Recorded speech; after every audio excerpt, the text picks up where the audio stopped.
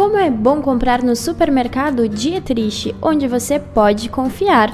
Produtos de qualidade e ótimos preços, carne fresca, pão quentinho e tudo que você e sua família precisam para comer bem, gastando pouco. Você encontra no supermercado Dietrich.